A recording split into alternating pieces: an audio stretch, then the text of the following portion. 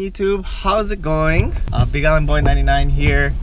Just a quick update, we did sell our house. Yay! So we're super happy about that. The next thing is actually finding a house. Yep, still going, so I'll keep you up to date on that. Now I remember what I was gonna do. Today we're gonna talk about XY. XY is a high intensity, which is the X, and Y being the the yoga phase. Really great workout. You guys should actually, um, if you guys are trying to do something different, you know, you guys stuck in a plateau, this really helps you both build muscle, endurance, and overall just fat loss.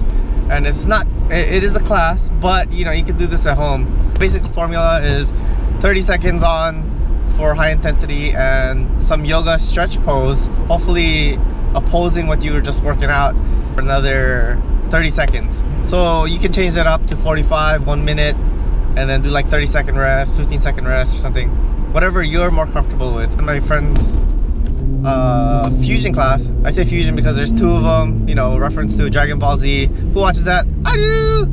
I've done it at home and I just needed that little, I just needed that extra little push to go work out and it was just overall just a great experience to be out and about. Uh, you work anywhere from 8 exercises to 16 exercises. When I say exercises, it's a, each hold or each high intensity workout pose or what whatever is considered one exercise. Uh, then you rest for a minute and you you know you pick it up and you do that for anywhere from uh, four rounds to eight rounds. Uh, the class is usually about eight rounds. It's all at the Brave Fitness. So again, this went in, took the class.